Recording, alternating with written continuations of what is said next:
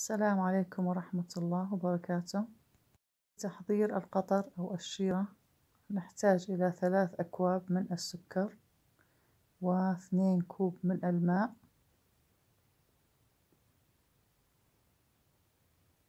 ونضيف شريحة من الليمون. وملعقة صغيرة من ملح الليمون أو عصير الليمون حتى لا يتسكر عندنا القطر.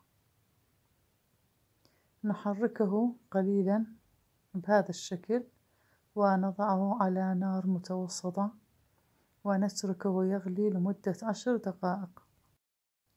ومن ثم نزيل شريحة الليمون ونتركه حتى يبرد ونضعه في علبة زجاجية في البراد. يبقى معنا تقريبا أسبوع أسبوعين. ما بيصير عليه شي أبدا.